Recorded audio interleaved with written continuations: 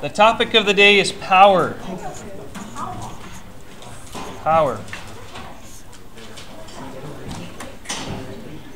Power. And we talked so far a lot about energy. We talked about different forms of energy. We talked about gravitational potential energy. We talked about kinetic energy. We talked about developing uh, energy by doing work, forcing something over a distance. So we got a, a few different ways to talk about energy, but power kind of rides on the, the coattails of energy.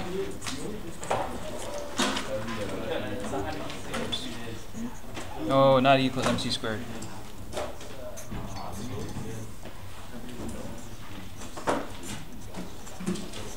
What's that thing that they think is faster than? Oh, the neutrinos? Uh, the possibility they might go faster than the speed of light? Can it go through the sun without like getting affected? What's that? They go through the sun? Through the sun without being affected? I don't know. I don't know the details of it. I would suspect so, though. Not fast.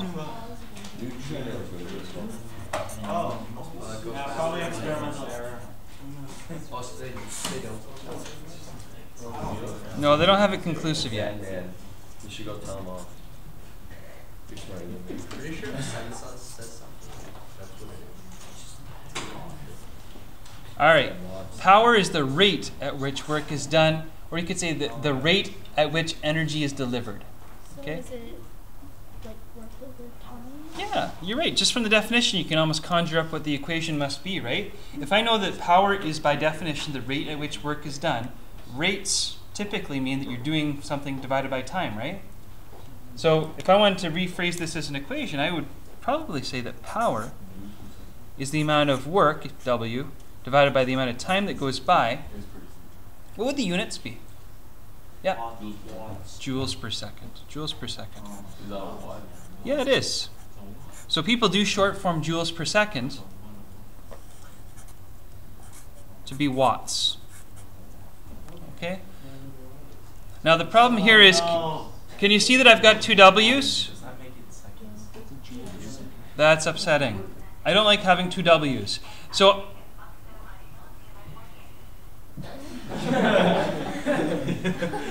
I don't like having two W's. So what I'm going to say is that instead of writing work, I'm going to recognize that work is the same thing as saying change in energy. So I'm going to rewrite, rewrite this equation to make it a little more friendly in terms of units and variables not sort of repeating themselves, because you don't want to have two W's. So I would say that a nicer way to write this might be that power is equal to the amount of energy that you are able to give to something, delta E, change in energy, divided by change in time. Now, the, the type of energy that you're giving to something might be the kinetic energy you give to it, it might be the gravitational potential energy that you give to it. So, this is a nice general way to write it. We're going to leave it without a subscript. It'll just be the change in energy. Okay? So, having said that we've talked about EG and EK, yeah. Are we using that uh, delta E for like work now? Well, delta E is the same thing as work. It's always been the same thing as work. Yeah. But like, are you gonna start putting that instead of like the W? Yeah, I'm going to start using it instead of W you now. Just because we got watts and, and work, it's going to get confusing. Why did we use work in the W for work in the first place? here? We were gonna have to change it. I don't know, it's sort of tradition, I guess. Yeah, you should, you should do that next year.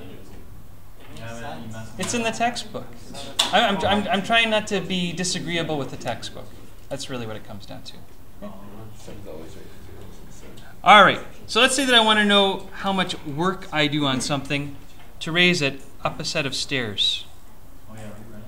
Oh, we might. We might run upstairs. But let's say that I, for example, have a person that's running upstairs. Okay?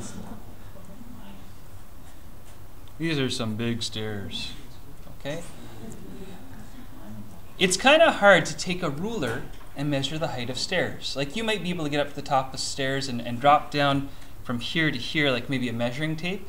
But typically, it actually is kind of hard to measure the height of uh, a staircase. How could you do it without dropping a measuring tape from here down to here?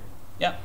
Well, if the steps are the same size, you could measure one and then just multiply that by the number of steps. Sure, why not? That's pretty practical. So, assuming that you've had a good builder, you could figure out the height for a step and then count by the number of steps.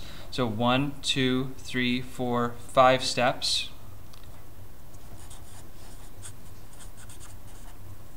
And you'd figure out what the height is for the whole thing.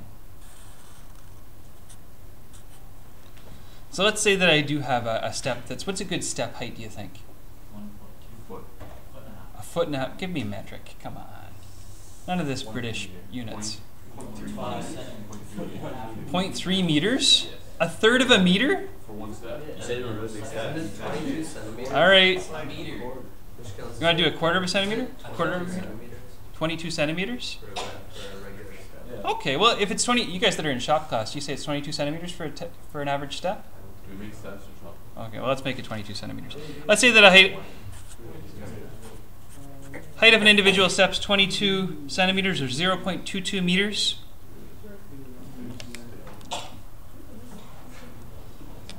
I got five steps, so the height of the whole thing is going to be equal to 5 times 0.22 meters. 5 times 22. 110? Yeah? So 1.10 meters tall. Not that far up. Now, if I want to know how much energy, remember, we're talking about finding a change in energy. I want to find out how much energy this person gave to themselves, essentially, mechanical energy they gave to themselves by taking themselves up to the top of the stairs. We're talking about how much the gravitational potential energy changed. So if they start off from rest and they end up at rest, up at the top here, ta-da, up at the top, we could calculate how much the EG is if we know the person's mass in kilograms. So the mass, nice, nice uh, mass for a person. Let's do a, a nice round number. Let's say that they have a 40 kilogram mass. Oh my goodness. Okay. So we got EG is going to be equal to mass times acceleration due to gravity times the height at which you arrive at the top. It starts off at a height of zero, so the change in EG is going to be zero minus whatever we calculate here. Sorry, this minus zero. This is EG2. So the mass is 40 times 9.81 meters per second squared times 1.10 oh nuts meters ran out of space 1.10 meters what's the eg for this fellow 1.1 times 40 times 9.81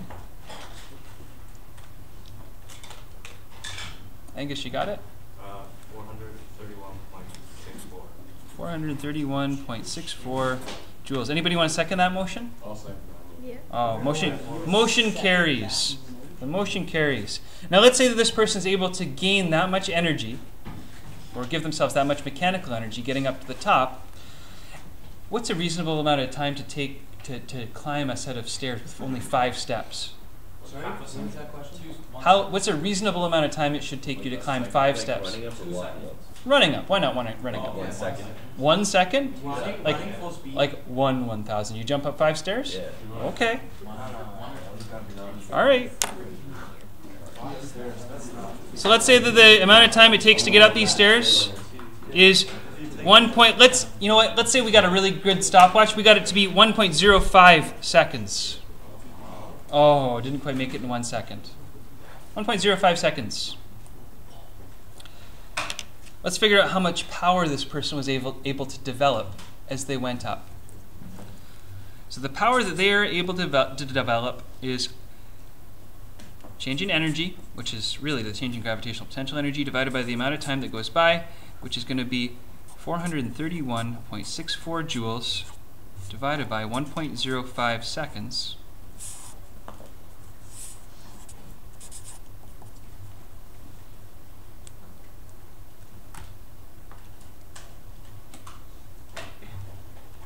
How much power?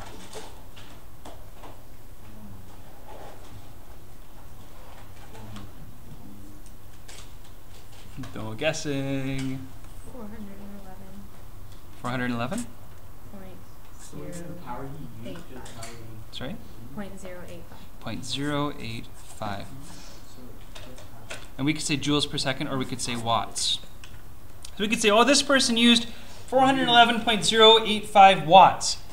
Now, you might think of another device that has watts on it. What's another device that has watts on it? So Yep. No labels. Light bulb, light bulb. Can you convert running energy into watts very white watts used for a light bulb easily? Center. Uh, yeah, at the science center. Yeah, you sit on the bicycle and everybody Yeah. watch the person. attached to a turbine. Yeah, you might be able to get mechanical energy to turn into electrical energy in that way if you have a treadmill with a turbine. Is this person going to be turning electrical or their mechanical energy into light bulb energy? No, no, no. That's it takes a little bit of apparatus to harness that kind of energy and convert it into another form. In this case, we're using biomechanical energy, like chemical energy in, in your, your fat cells maybe, or that you were digesting this morning after breakfast, and we're converting that chemical energy into mechanical energy. And the mechanical energy is at this point locked up in gravitational potential energy. Okay? So, but we did that in a certain amount of time. So, how could I? This is a certain amount of power, 411.085 watts. How could I produce more power climbing up these stairs? Me as a person, how could I produce more power? Yep. Do it in less time or use more work? Okay, so I could do it in less time. What if I did it in exactly half the time? So, what's half of 1.05? Zero point five. 0.525? Is it 5? At. Yeah. So let's say that I found it in delta E over not 1.05 seconds, but 0.525 seconds. And without even putting in this delta E, can you do this math in your head? If I half the time, what's going to happen to the power? Double. If I half the time, I'm doubling my power. So I'd be talking about having a power now of 822 watts. See that that's that's about double of that. If I can run up in half the time, I'm doubling my power. And you try it. You try and run up in half the time. You run your fastest up the first time. The second time, try and half that. Good luck. You actually have a maximum power outage for your body, right? You can only put out so much power. So if you really wanted to, to not challenge yourself, the first time you'd maybe walk up. And then you say, oh, I bet you I can double my power. And then you run up the second time. Yeah, you could do that. Absolutely. What would be another way to double your power outage? Yeah, You push really hard. Push really hard. How could you push really hard? Right now, I'm just pushing against my own gravity. What what could I do? What's that? Go twice as high. Go twice as high. Okay, so I could double the height to which I go to. That's another way to double my power outage. Maybe find myself a twice as tall staircase. What's another way? Yep. Double your weight. Yeah. Yeah, take a buddy, buddy that weighs the same amount as you, same mass as you, I should say, and put them on your back. So run up the stairs with a piggybacker. Don't do that. Okay? But if you were to run up the stairs with a piggybacker, you could double your power really easily. Now, hold on. Here's the assumption. Shh. If I want to double my power by throwing a piggybacker on my back, what would have to be true about my time? It would have to remain constant. Yeah. So if you run up as fast as you can the first time and do it in 1.05 seconds, the second time you're doing it with your buddy on your back, good luck. It's actually pretty hard to double your power outage. It really is. And you know, the interesting thing, we can do some of these experiments to see whose power outage is, or power capacity is greater. And I've, I've done it. Well, we're going to do it in this class. But sometimes you take these, these little skinny sprinters, and the little skinny sprinters can get up to the top so, so quick. And so that time value shrinks down to very little. What is that? What would you expect that would do to the, your power? Yeah, you think it'd go up. However, built into that energy is what? Yeah. So, oh my, my, my, my, my, my. The mass is battling against them. Then you get these great big football players, maybe. They have a lot of mass. What's going to be true about their time, maybe? It's actually quite slow. maybe slow. But if you get some, what, what position in football is big but quick? Anybody know football well enough? The end. Oh, oh, oh, oh, the linebacker maybe. Yeah, you get the linebacker. Sometimes you get a linebacker in a physics class. You know, how many times is that going to happen, right? Because there's only so many linebackers, not because linebackers don't take physics, but because there's not too many linebackers, right? And the law of averages, you don't get that many Imagine There are linebackers. fewer, there are fewer linebackers on average who take physics. Yeah, exactly. Okay, so let's say you do get a linebacker though. If you get a linebacker running up the stairs, you got a nice mass. Maybe you're going to get a great time. Then you get a lot of power. It's hard to get the combination a massive person and a quick person. That's a hard combination to get. It's pretty easy to get a, a little quick person, and it's pretty easy to get a big slow person. Because it's hard to lose, it's hard to move a lot of mass. It just is, whether you're muscular or not. It is. It's hard to move it. Right? are you doing that today? Yeah. And even you see some of the bodybuilders. See some of the bodybuilders, and this is something you want to watch out for, ladies and gentlemen. You go to the, the gym and you do your bodybuilding. What do you notice when you see the guys on the, the bodybuilding machines? Where are all the muscles typically? In their arms. And you see these crazy looking people. They got little chicken legs. You seen them? I see them at the gym. Chicken leg people with arms as big as my thighs. right? You seen them? And they can, I bet you they could lift a truck. But you put them on a staircase. They got to lift those arms, right? Like with their legs, which, by the way, they haven't always been working out because they figure the jeans are going to cover them up most of the time, right? Because there there are a lot of people doing it for like the aesthetic look, like want to be big and, and bulky. Not everybody, but you know, you see the people, right? So they wear the jeans over their little chicken legs, and they can't hardly run up the stairs, even though in their minds they're very fit people. But oh my gosh. This is not the kind of person that I, I want to be if I'm uh, living near a volcano, right? If you live near a volcano, I would rather be working on my legs every day. Every day I'm doing squats if I live by a volcano because I want to be able to run to high ground, get out of the way of the magma. So there's, there's certain things that maybe you work out for, for different purposes. Anyway, power. Power. There's different ways to modify your power. Get more massive, get more quick, or take less time. Ways to modify your power when you're climbing stairs.